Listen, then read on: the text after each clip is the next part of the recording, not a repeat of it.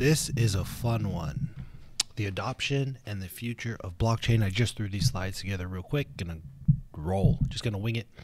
This is a really important segment, though, that we're to recycle over and over. So let's talk about the adoption, the future of blockchain, and uh, really how things actually diffuse and get adopted.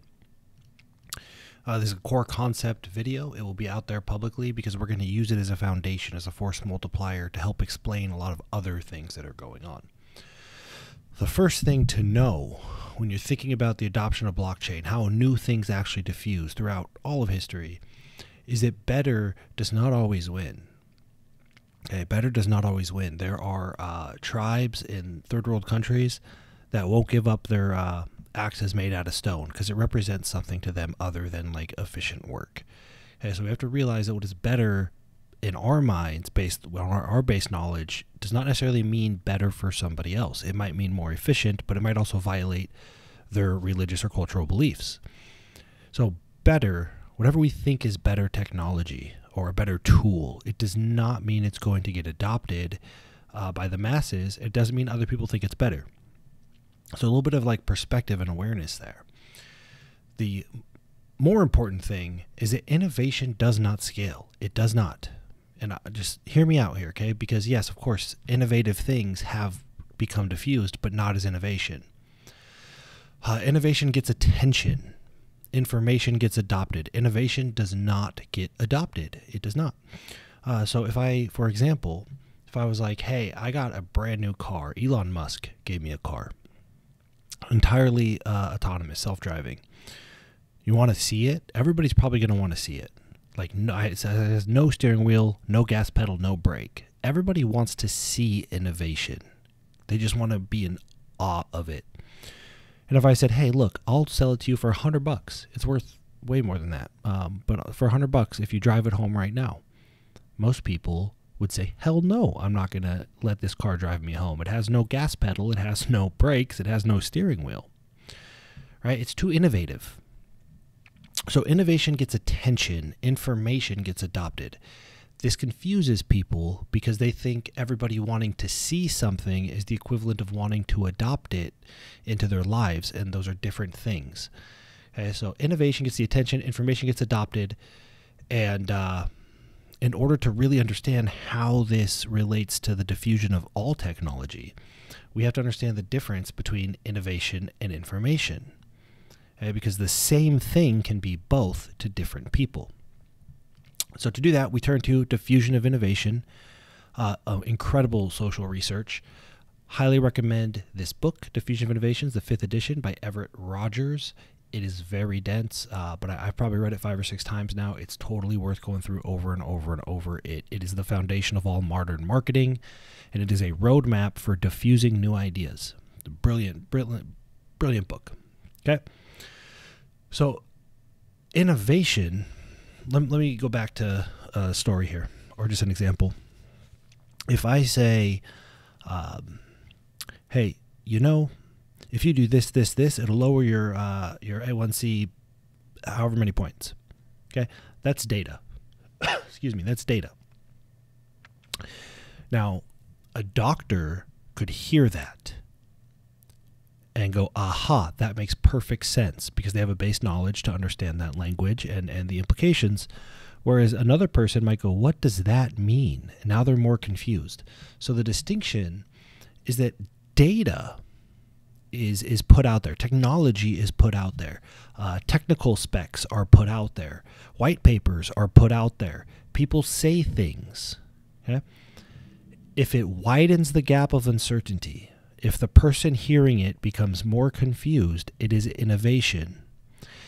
If it closes the gap of uncertainty, so the person hearing it now understands better how to behave with that data, uh, it's information. So you see, innovation does not uh, diffuse, does not get adopted. It diffuses when it becomes information. When this new thing can be observed and people can go, "Oh, I under now I'm more certain about whatever problem I had." Uh, now it's information; it gets adopted. So it's not the innovation that gets adopted; it's when innovation turns into information. We're going to talk about how that happens because it's it requires a lot of perspective and understanding, and you got to zoom out and, and get some um, perspective on where the uh, the technology or the idea is. So hopefully that makes sense. Um, somebody says something. If it is if it confuses the audience, it's innovation. If it gives the audience more certainty or clarity, it's information. So the same person can say the same thing, and to one audience, it's innovation. To another, it's information. Hope that makes sense. So again, what is information to one party could be innovation to another. So we end up looking at the uh, adoption curve. This is diffusion of innovation, the adoption curve, and we've all seen versions of this. What happens is you get a bunch of innovator types, and they keep thinking that they're giving information, right? But we educated, we put out these white papers, we did all these videos.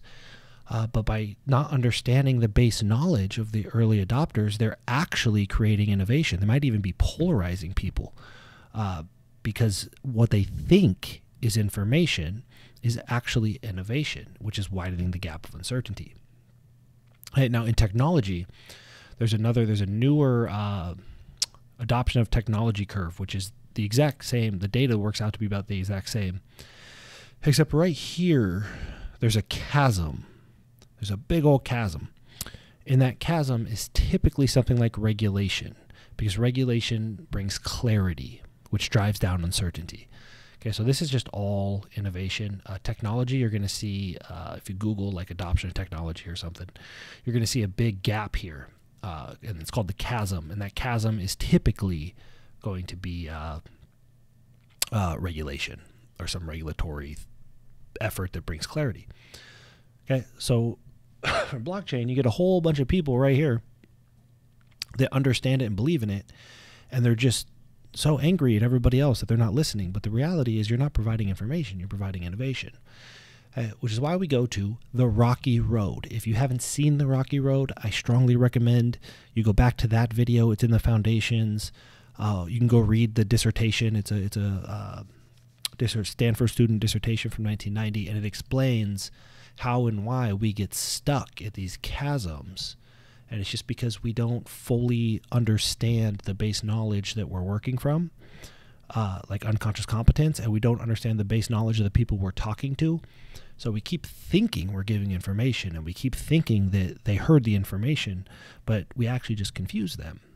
Okay, so understand that people have different base knowledges at each uh, uh, little tier here, or each little uh, segment of the market uh, so there's different base knowledges.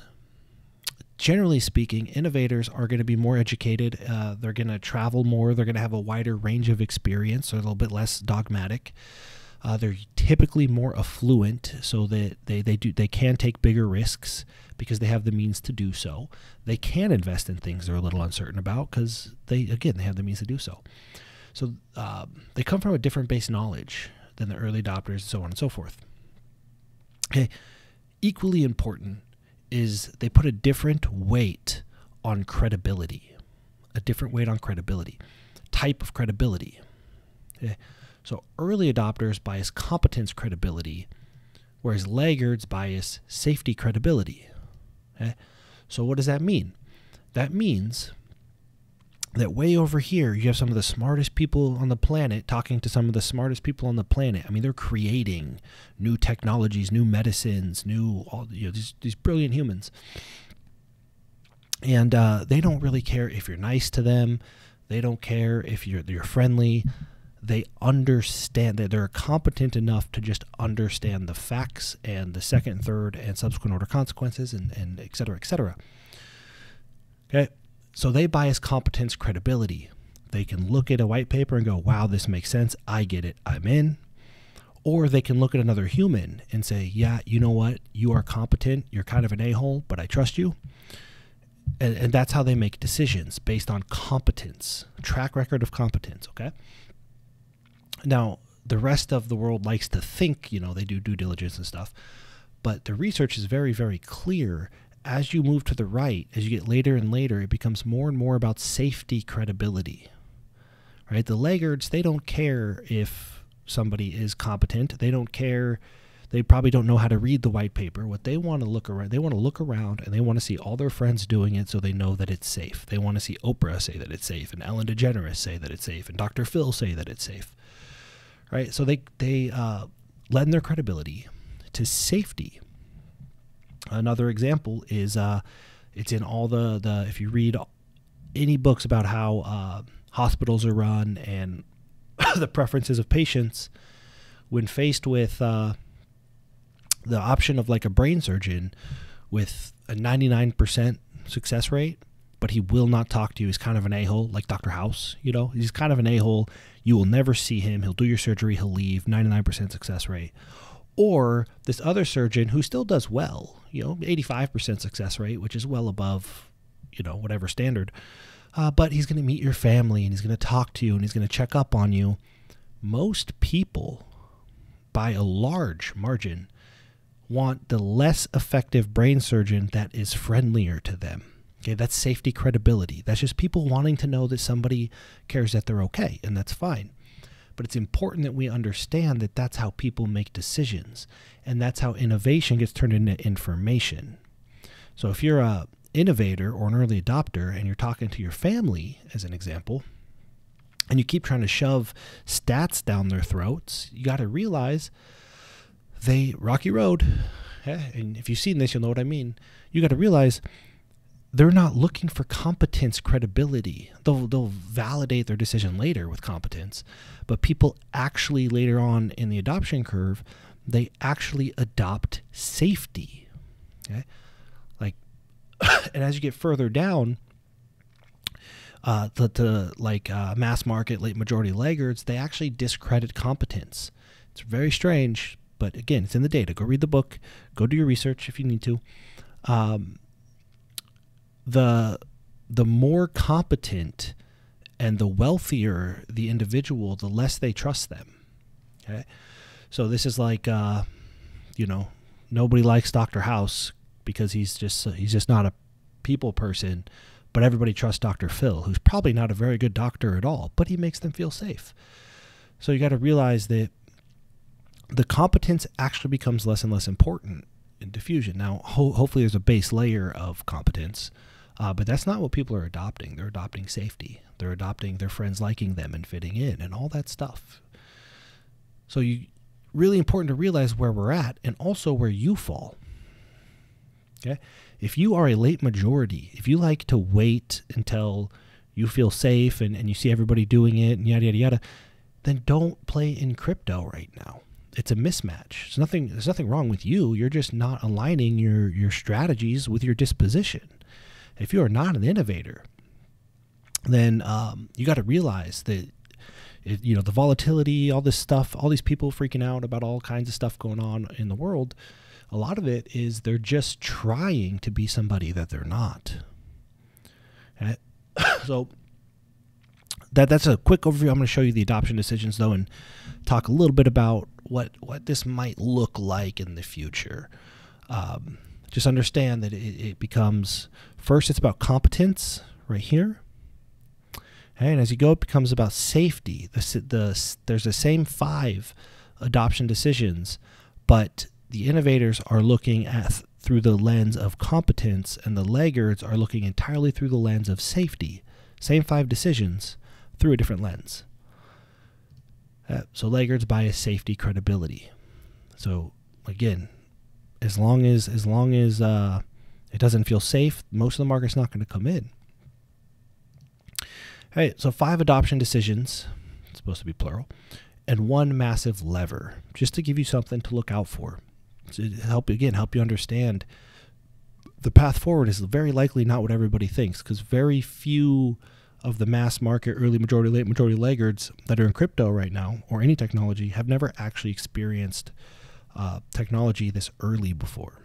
So they're not used to this kind of bumpy road. Uh, the five adoption decisions. Eh, so we're looking at competence credibility to safety credibility. Uh, whichever end of the spectrum you land on this is how something turns from innovation into information so that it can get adopted by whichever you know whichever party it should be adopting it right now One, relative advantage. This is simply asking, why would I do this over what I already do? Like, what is the advantage of using crypto over my bank account? Like, how big is that? I, I realize there there might be an advantage, but is it really so much of an advantage that it's worth flipping my life upside down and learning all this new stuff? So the new thing has to be relatively better than the old thing, but it has to be better in the way that the audience values, right? So a lot of people go, well, this is better because self custody. And like most people don't even know about that. That's not a relative advantage to them. So when, when the relative advantage to them is obvious, it becomes information. Number two is compatibility. Is this compatible with my life, my religion, my espoused values, my, uh, you know, I got kids at home. Is this compatible with being a stay-at-home mom? Is this compatible with yada yada yada? All the all the other parts of my life. Does this fit in? Right? It's really important. Complexity. How difficult is this? You know, how much am I going to have to learn? How am I going to get overwhelmed? Yeah. So, again, um, the complexity will look different based on the stage of the adoption. Like a, a lot of people that were first into crypto, as an example, it, the, the technical complexity wasn't a problem for them, right? and they could go to the white papers and figure it out because they bias competence.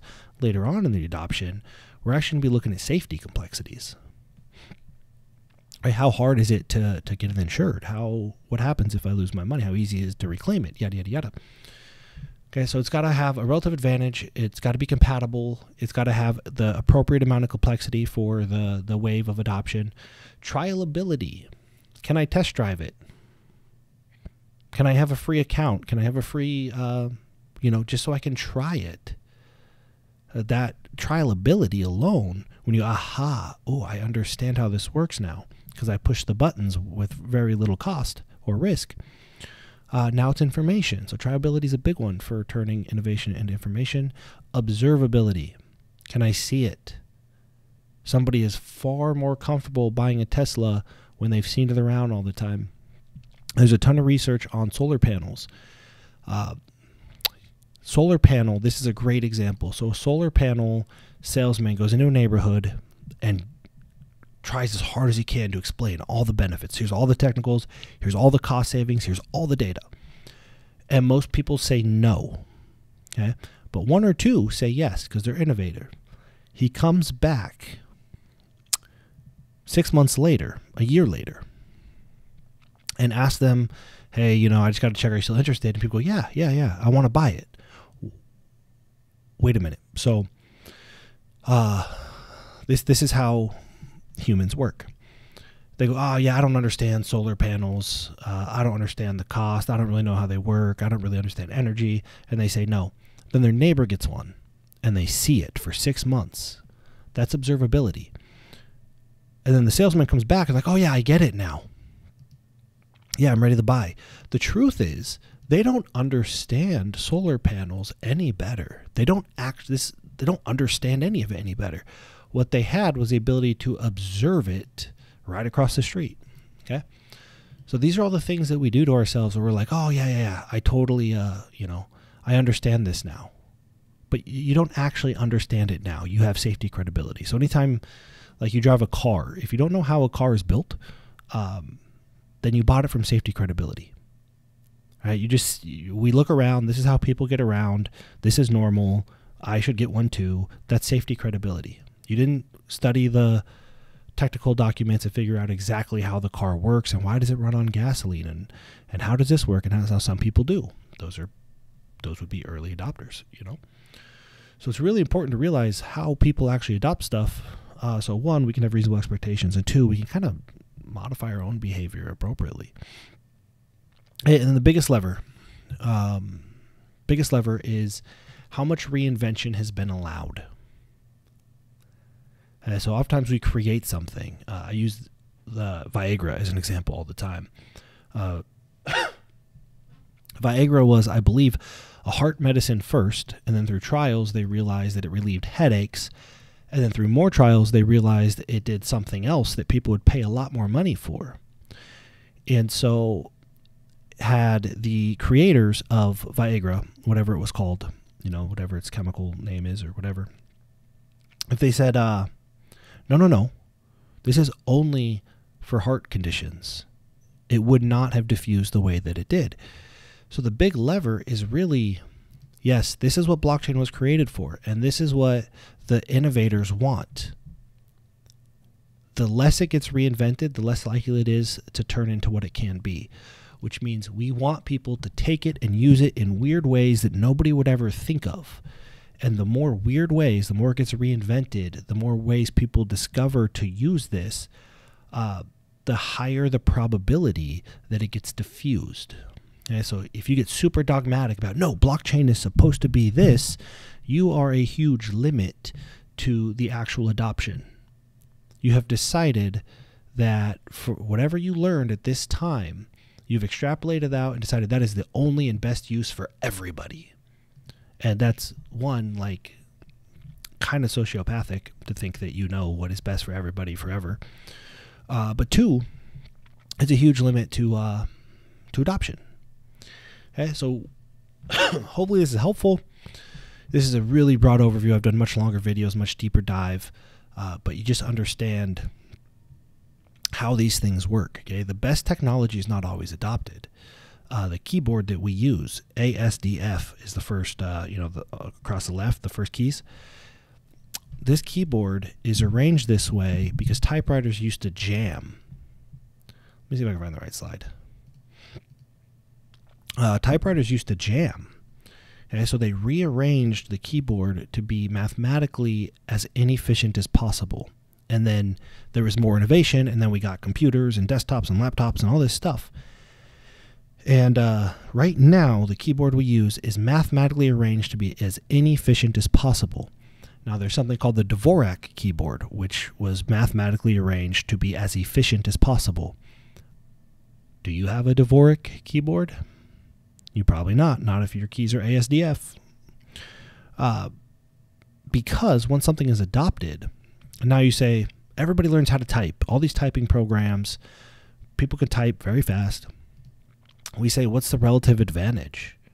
Like, do I really need to go from 300 words a minute to 400 words a minute? Is it really worth relearning how to type? What is compatibility?